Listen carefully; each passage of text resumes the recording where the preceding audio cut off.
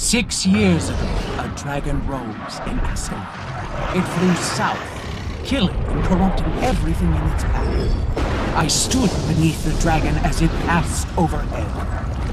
I survived, but others did not. All across Tyria, I found others who told of destruction caused by the dragons.